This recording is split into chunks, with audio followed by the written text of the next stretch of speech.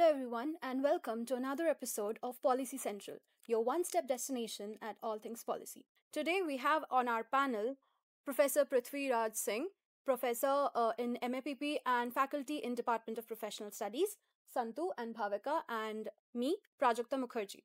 So, today we'll be top- talking about uh, a very controversial and uh, interesting and a complex topic the Citizenship Amendment Act that has been sparking debate all over India.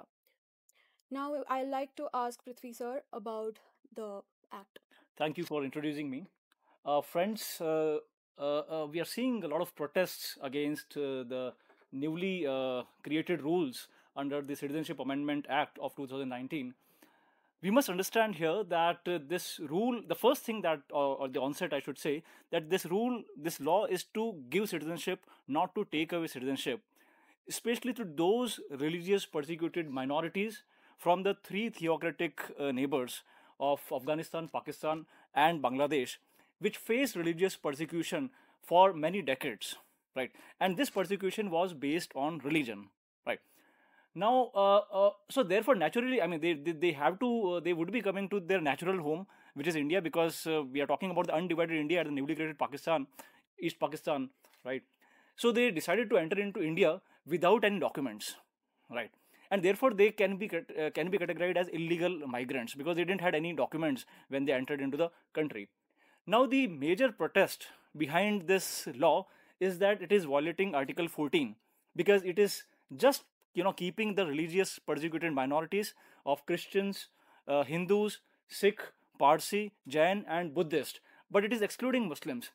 We should understand and therefore the protest is that it is in violation of article 14 which is uh, right to equality right? But then we must understand that it has two uh, uh, parts. This article has two parts equality before and equal protection of laws right?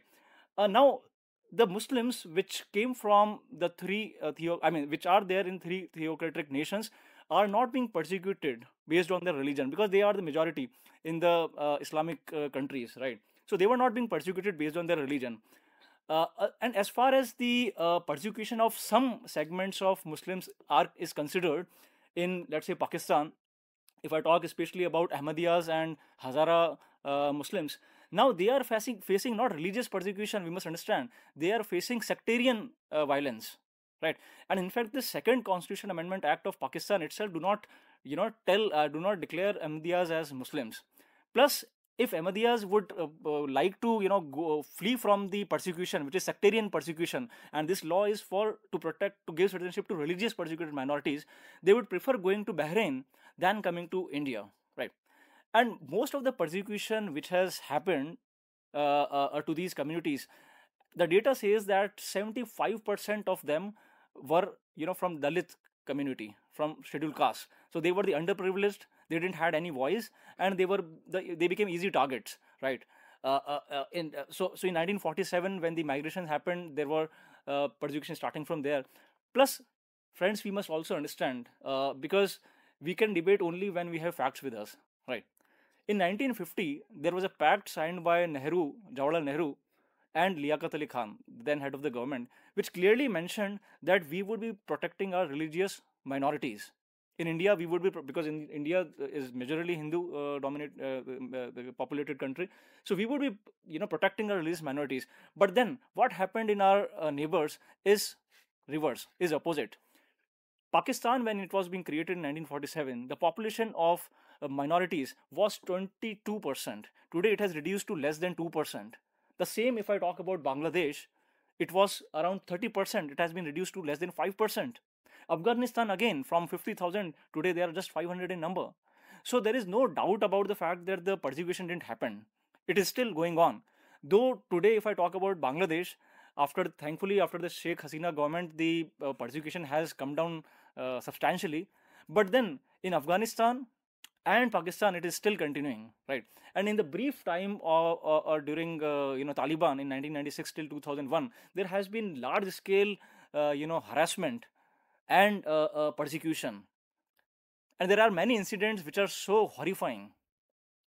Women were being raped, and they were being uh, uh, assaulted to such an extent that many, you know, pregnant women had abortion on the spot. So there is no denying on the fact that the persecution didn't happen. So naturally, they would come to uh, the uh, their uh, India, which is a natural home, and and again we should also understand that it is not a first time that the citizenship has been given based on religion, right? Indira Gandhi government in 1970s did give citizenship to Hindus from Uganda, right? When they were being uh, asked by the head of the government to leave the country. Rajiv Gandhi gave citizenship to Sri Lankan Tamils in 1980s, right? If I talk about, you know, because we should not have a parochial view, we, we must go beyond our borders. And when we see the other countries like United States, like UK, they have also given citizenship based on, uh, you know, religious persecution. America has given citizenship to Jews who are being persecuted religiously uh, on religion lines right similarly uk has also given to the migrants who were being slaves in those countries now article 14 as i when i started my uh, discussion as a protest is that article 14 is being violated we must understand that no fundamental right can be absolute as article 15 also is. And they do come with some reasonable restrictions. Now when i say reasonable restriction that means constitutional reasonable restrictions. Now who would declare that these restrictions are fair or not? There are many judgments of the apex court which has given some set of conditions or some set of tests right and the and if i talk about those tests so whenever you are uh, infringing any fundamental right specifically if i talk about article 14 that why muslims are not being included into citizenship law and is it it is a is it a violation of article 14 we must understand that if it is a infringement or if it is a deviation it has to fulfill or satisfy two conditions the first is intelligible differentia that means the differentiation that you have created between Muslims and non-Muslims, right? Does it have a reason? Does it, does it have a reason uh, or logic, right? And as I said, that Article 14 also include equal protection of laws. I cannot have the same law for a 15-year child and a 5-year child, right? So unequals have to be treated unequally. So equality applies to those who are equals, not to those who are non-equals. So, the, so because of the reason that they didn't face religious persecution, to extent as the minorities faced in these theocratic nations. So therefore, it is satisfying the intelligible differentia test, number one. The second test is rational nexus. Now, rational nexus means that this differentiation that you have created has a nexus or has a connection to the objective to be achieved. Rational nexus, the rational or the logical connection, right? And the larger objective is to give citizenship, or I would say to expedite or to fast track the citizenship process to the religiously persecuted minorities who entered into India on or before 31st December 2014. So this is a larger objective to give asylum, to give recognize them as Indian nationals, right? So therefore, it is satisfying both the conditions of intelligible differentia as well as rational nexus. So therefore, to me, Article 14 is settled, right? Uh, uh, now, citizenship, as I said, that can be granted by various mechanisms and uh, otherwise also if any person want to acquire indian citizenship he or she can easily do so by following naturalization process. Now naturalization process requires you to stay in the country for 11 years plus one year uh, for the uh, since the date of application right? Just for, to expedite the citizenship process for religious persecuted minorities this law was being created so that it would fast track the citizenship process from 11 years to 5 years right? So this was the objective behind this law. Yes Pradeep. Okay, now I would ask Bhavika to tell us about the current situation in Assam, Tripura, and how is CAA being uh, implemented there. Okay, so before coming to the current situation in Assam or Tripura, we should look at the historical purview of the situation. Now, uh, we should know that uh, Assam as a territory has been a part of the British as well. So it was a constituency under the British. So in 1931, when census happened in Assam, uh, the census director of uh, the British government wrote a letter to British government telling that the demography of Assam has been totally altered due to this migration of either Rohingya Muslims or the people coming from Bangladesh. Now, coming to the current situation after partition, uh, in 1950s, the Nehru government applied, rather the Indira Gandhi government applied the IMDT Act in Assam, which was to find out the immigrants living in those countries and protect the rights of the indigenous people of Assam. So in 2005, the very act, the IMDT Act, was struck down by uh, the Supreme Court, uh, Supreme Court as ultra vires. Why? Okay, so the IMDT Act uh, had the onus of proof that the burden of proof was on the government to prove whether this person is their citizen or not. While if you see the Foreigners Act, that is other that is the act that is being used in other part of the countries to find out the immigrants in those uh, uh, states is uh, the Foreigners Act 1946, which uses that the onus of proof lies on the citizen to prove that whether he's a legitimate citizen of the country or an immigrant. So this was raised by the ASU, All Assam Students Union. A lot of times the Assam Accord was signed, but then also no action was taken. So in 2005, the Supreme Court themselves took the action and said that IMDT should not be applied in Assam. It is ultra vires, and then Foreigners Act was applied to uh, Assam. So now, what is the current state? Now, this consti- sorry, the CAA, that is the Citizenship Amendment Act, uh, says that the inner line permit area in six scheduled states will be excluded by the uh, CAA. So we should understand that 30% of Tripura, that is the border line with Tripura, of Tripura with Bangladesh, is excluded from ILP as well as uh, six schedule. And you see, most of Assam is also being excluded. Now, all these immigrants living in these northeast northeastern states will not be given citizenship in other part of the northeastern states. They will only be only be given citizenship in Assam and Tripura. So, Assam and Tripura as states have increased risk of these people pouring into their countries. So, as in states, what will happen to the indigenous population? The ASU is, anyways, you know, agitating the fact that uh, so many people are already there as immigrants. And then, if we keep on giving citizenship to these people, what will happen to the indigenous population? Because they are also, as you rightly pointed, because they are tribal dominated regions, right? So they are afraid, they are fearful of the fact that they would, their language, their culture would be, you know, destroyed or would be uh, degraded. Plus, uh, their properties may might also be acquired by the the, the new the new citizens, yes, right? Sir, yes. Because once you are declared as a citizen, then you have a power over the property as well, right? True, true. So that is the fear of uh, the indigenous population. indigenous population. And so there's also the exploitation of these immigrants uh, over the indigenous tribals, like as we see in Tripura. yes. So uh, recently, the Tripura Accord was signed, and So Bhavika, has the government uh, assured of any protection to uh, Northeast? Sir, all other states, if we see, have been protected, but certain regions of Assam are still not protected. Uh-huh. Neither is Tripura. And if you see the NRC that happened in Assam in 2019, left out 19 lakh people as immigrants, first of all. After other people who were included as migrants will be given the citizenship.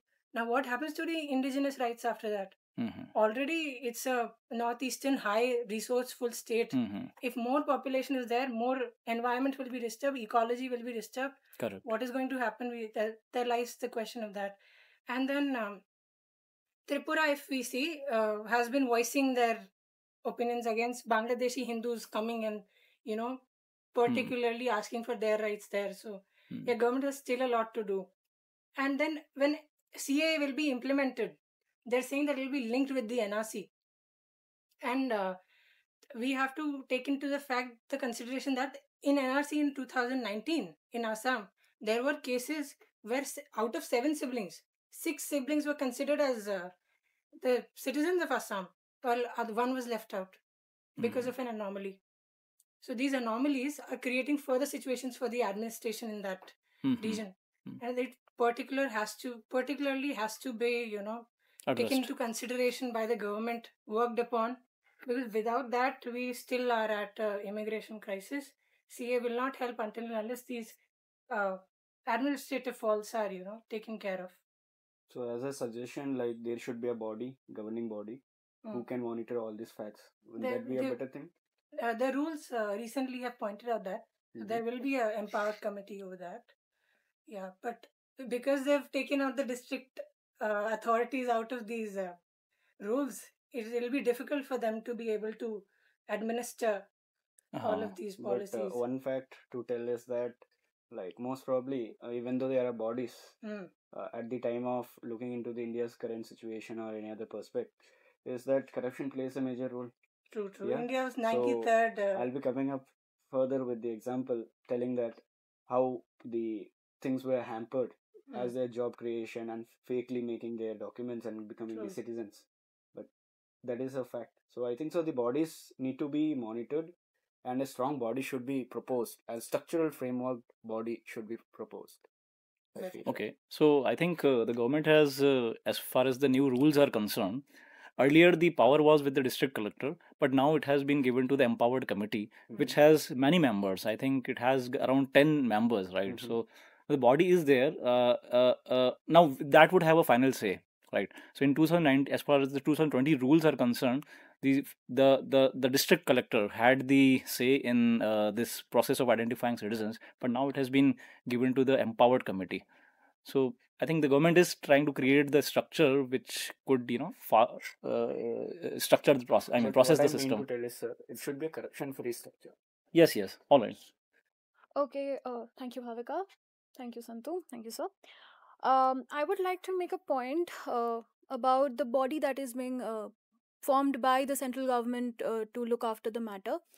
Uh, so, I would say uh, the district collector should be added in the body because he would know the uh, state better, he would know the area better, he would know about the vulnerable communities and what all challenges can the body face because for example in west bengal if someone from a different state Hmm. uh, is in the body he might not know about the challenges he can face So, uh, to point toward that, the government has created a two-tier system. One at the district, I mean, one at the state, uh, down going down to district level, and one at the center, right? So, at the district level, the committee which is being created is called as district level committee (DLC), right? Which again has some state level officials, which would be ascertaining the conditions and identifying the people who could be declared as citizens, right? And then they would send the documents to empowered committee, right? Which would have a final uh, decision or a final say. So in this way, I you cannot we cannot completely say that the districts or the state governments are excluded from this process. okay, Hmm. but in, So, mm, can I add to this point? One thing is that the particular community we are focusing on giving the the status of CAA, we can make a head of it. He can be the at least a sub body. He can come and communicate in a better way. Hmm, hmm. That would go good in a way, providing the documents and proofs, and making them as a citizen or whether to not. okay uh, thank you sir thank you santu uh, now i would like to speak about the current situation in west bengal and how different communities there are reacting to the announcement of caa on 11th of march so uh, basically i would focus on uh, two communities the rajbongshis and the matuas the Matuas are basically a community of, uh, it's a religious community of uh, Shudras who had come to West Bengal, especially during 1947 and mostly during the 1971 Bangladesh Liberation War. Uh, they had come here just because of uh, religious prosecution. They were, as Sir had mentioned earlier, they faced different atrocities in East uh, East Pakistan uh, then is East Pakistan, and uh, they were forced to leave uh, their own country, their own land, their own jobs, and everything, and come here and take shelter. So basically, the this community is uh, based in uh, the Nadia district, uh, Purva Bardhaman, South 24 Parganas, and Cooch Behar. So uh, uh, the Matuas have actually supported uh, the C, uh, the CAA, and in 2019, the current government had uh, promised the community that they will uh, the CA will be implemented and uh, they will be benefited from that. Uh, the leader of uh, all uh, all India Matua Mahasangha, he said that it's a second Independence Day for the Matua community, and even after hundred years, maybe this government won't be there then, but no one will question the refugees anymore. And these are basically the Bengali refugees who had come. So uh, I think the Matuas are supporting it, and uh, in many ways, they even here they have faced uh, certain difficulties, uh, like coming from there, settling here with nothing. You're 100% right because the if you check the number of applications for citizenship for seeking citizenship of India, 75% of them are coming from scheduled caste community, Yes. right? And Matua is a is a very big number in uh, Bengal, right? So they also migrated from Bangladesh because of the religious persecution. Yes, sir, you're absolutely right. They are the second largest uh, SC community in West Bengal. They constitute about 15% of uh, the total uh, SC population. Now, I would like to speak about the indigenous community uh, that was already there in West Bengal. Uh, they basically are the Rajbongshis and they are settled in North Bengal. So, they are the largest scheduled caste group in West Bengal and constitute about 30% of the total uh, population there. So, uh, basically, what they want is they don't want CAA, uh, but they are more, they are supporting uh, the NRC more the reason for this is as we know uh, they are in the north bengal and it has been a porous border so the intruders have come in and they have settled in their land. So their main grievance is uh, before 1971 their population was almost as per the reports or as per they say about 80% of the population was rajbongshis in north bengal. But after 1971 that population concentration has gone down to 30% thus it has led them to lose their land jobs rights and al- also a cultural uh, change has happened so th- this is basically uh, what their grievance is. And also uh, i would like to say uh, back when the elections were happening uh, uh, the current government, uh, a minister had promised for a different union territory for the seven districts in West Bengal, in North Bengal, and they were promised that. So that had that has not been implemented yet. And that is one more grievance. And uh, also as bhavika had mentioned no protection has been given to the indigenous tribe there as well.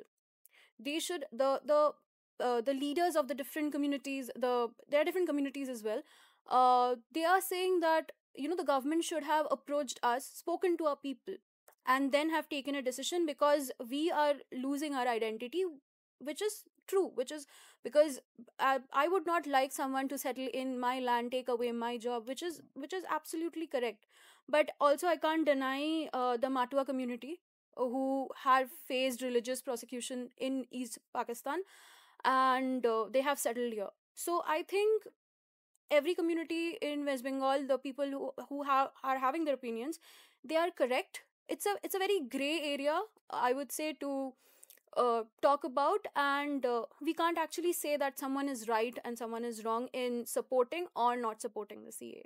I would say that um, I live in a place uh, in West Bengal uh, because I oftenly visit. It's a native. My, it's my native place, North 24 Parganas, and it's a very historical place. We all know the Battle of Plassey and other things also took place there.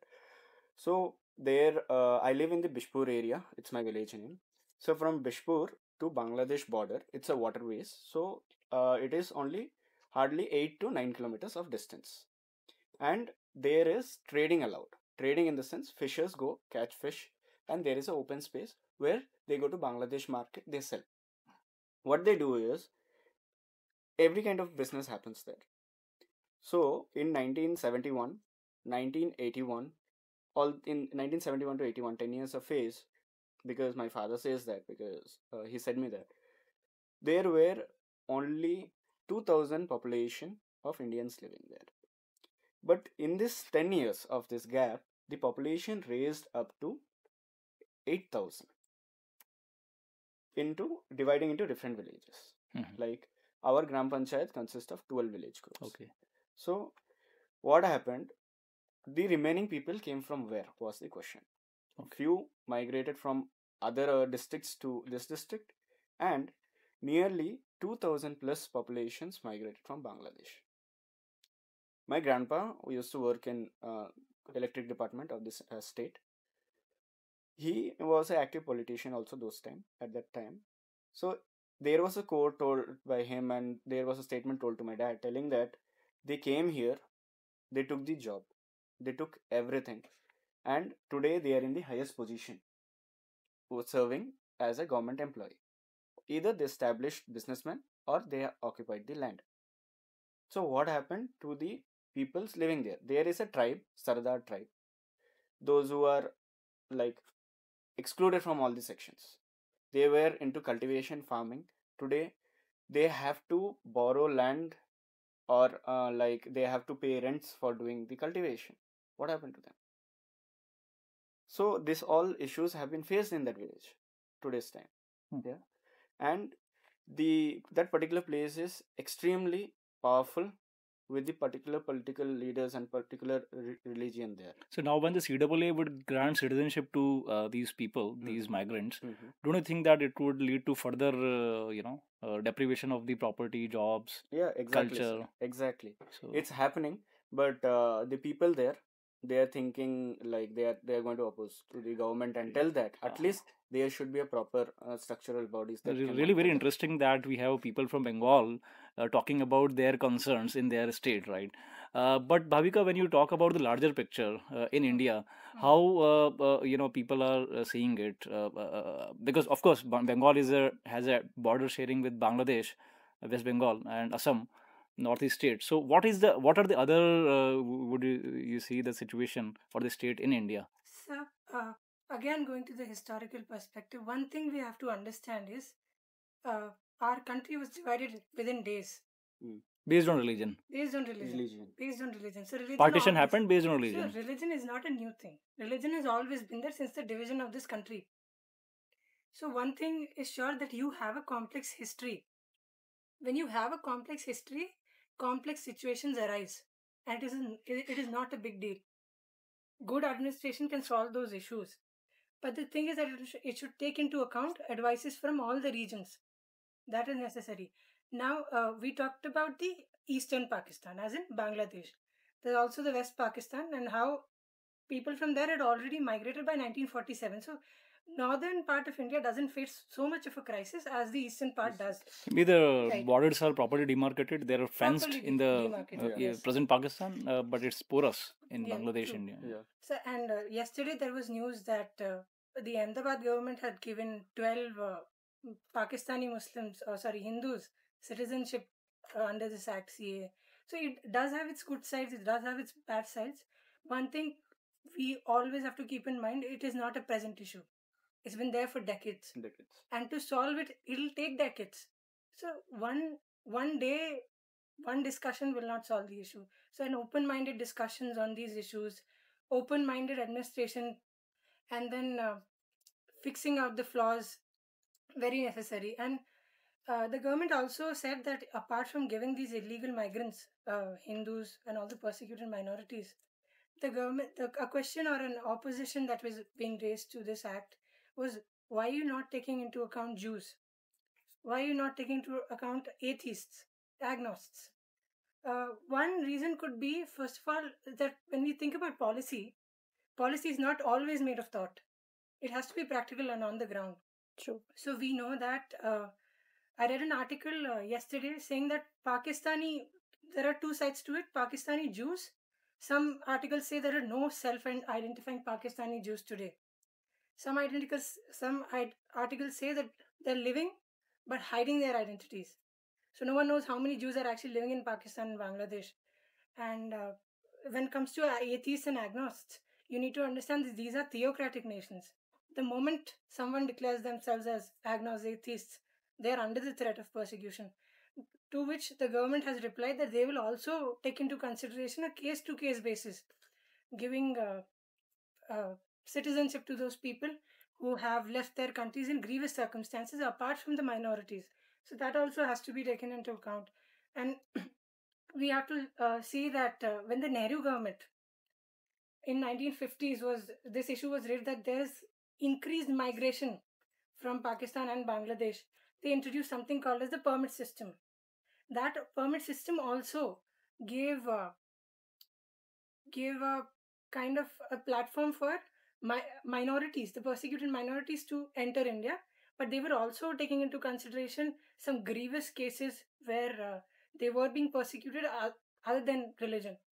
So it has there has been a historical perspective to that question, and then yes, we can find the solution, but it'll take more time. in the coming time. So, as uh, you rightly pointed, that uh, in fact, if I talk about the persecution which is which is happening or which happened in these theocratic uh, countries, uh, like Jews are being persecuted, uh, Shias, uh, which is also a bigger chunk of Muslim community, so they would prefer, for example, the Shia persecuted Shias would prefer going to Iran. Which is the spiritual home of Shia people, then coming to India. Similarly, Jews would uh, like to go to Israel. Israel. then coming to India, Mm. as Ahmadiyas uh, would like to go to you know Bahrain. Bahrain. So again, I mean, uh, uh, I mean, of course, uh, as a country, we have to look from the broader perspective, but we cannot welcome all. All. Given the population explosion, sir, Right, in right. the country, you cannot give. You don't have given. You have not given From rights to- persecution, because persecution, religion is one of one of the biggest Biggest. factor of persecution, right? And it's happening across the globe. So we cannot invite all the Everyone. people.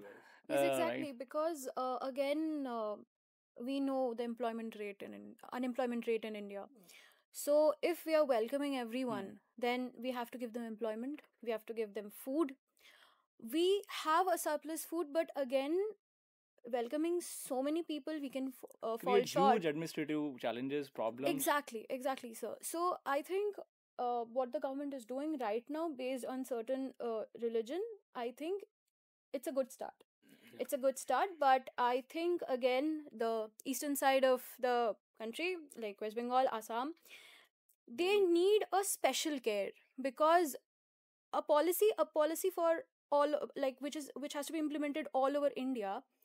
In it's a very complex nation. It should as not be one size fits all strategy. Yeah. It should Exactly. see- It sh- they should look into the uh, consideration micromanaging part of it. micromanaging. Yeah. The northeast need a special focus at least for this, like Mm. This re- one. apart from all. Uh-huh. If we want to protect the indigenous, Indigenous community. Exactly. All right, Yeah. great. So now I would like to ask Santu uh, that why only Afghanistan, Bangladesh, and Pakistan? Why not Nepal? Why not Bhutan? Why not Sri Lanka. Myanmar? Sri Lanka. Uh, absolutely right, sir. Uh, see, in this uh, Act of CA of 2019, they have mentioned that uh, CAA takes count of the refugees from the territories that were separated in uh, 1947, basically. So, C only AA addresses the Greater India of 1947. And uh, it's why Afghanistan, even though it's separated from India in 1876 because of the Durand Line Agreement, and uh, uh, there was a gap and there were trades and there were certain communities they were living there and they used to pass around. So it didn't have much effect in it. But nepal in uh, 1904 got totally separated okay with the particular treaties signed by the british government and the nepal revolution movement people. Bhutan was separated in uh, 1906 tibet in 1907 sri lanka in 1935 we all know that the conflict of interest took place and they were separated and Myanmar in 1937, the Burma province was separated totally by the British and giving them the separate nation. So basically, the CA is focused from 1947. So that 1947 thing took place, and we know that East Pakistan and West Pakistan, East Pakistan is today a Bangladesh, and West Pakistan is the Pakistan, and uh, the Afghanistan. So these three had connections with us until our independence. So we just thought to include them only and not furthermore anyone. Fair. So if we look in future cases, we may get into it. But this is a good start, as Prajukta mentioned it before. Great. Thank you, Santu. Uh, that was a very valuable information. Uh, now I would ask Bhavika, do you want to add anything, any more points to this? Uh, there have been also, you know, concerns regarding the Rohingya Muslims which have migrated from Bangladesh to our country. Now, again, the historical perspective uh, perspective on that situation would be that uh, after the separation of Burma state, uh, Rohingya Muslims were living in Burma, and when uh, the government there uh, threw, threw away basically Rohingya Muslims from their country, they took refuge in Bangladesh. But we also know that the lack of resources in Bangladesh and uh, um, the country's population density pushed them out of Bangla- uh, Bangladesh again and pushed them to India. Now, one thing we need to understand that after they were pushed from Bangladesh, it is not directly religious persecution that we're fearing. So, definitely not in the inclusion of what the CAA has been talking about.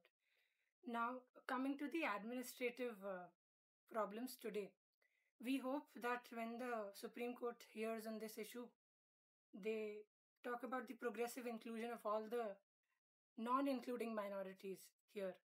And then we inclusively uh, move towards uh, the protection of rights of the indigenous tribes and also humanitarian causes like these and settling what our predecessors, what uh, the nation had done 70 years ago.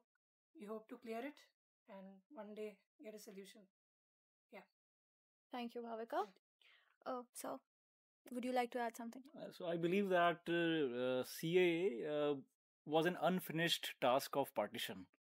It was a promise that the lawmakers made to the Constituent Assembly and the, uh, to protect the minorities and to take care of the interest. So I believe that CAA is a step in the right direction. And as Bhavika rightly pointed, that no policy can be perfect on the uh, the day of its inception. It takes time. It evolves with time. It grows with time, right? As the constitution keeps on growing, right? It's True. it's flexible, Yes. right? And all the uh, grievances of many communities, people from Bengal, Assam, had would find their reflection into the act i believe and i'm hopeful for- that and with this we would have some uh, good policy solution in the coming future Thank you, sir. So that's all for today, and uh, let's see how the government implements uh, the ca how different states react in the future. So that's all. Thank you.